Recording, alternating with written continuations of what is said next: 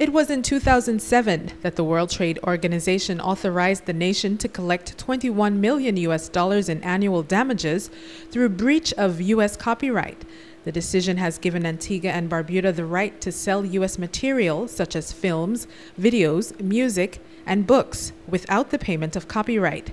But the country has held off on capitalizing this option to maintain the favorable relations shared with the United States.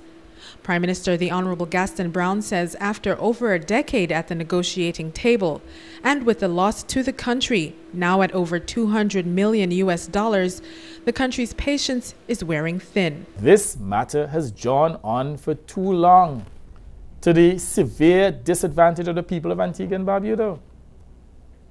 It must now be resolved, and we are prepared to pursue the remedies as authorized by the WTO in the interests of fairness. The Prime Minister says it's not the preferred option, adding that he will be renewing efforts to amicably resolve the matter with the United States authorities. I'm instructing our ambassador in Washington, Sir Ronald Sanders, who was our ambassador to the WTO when this case was first won in 2004, to renew negotiations with U.S. agencies as early as possible.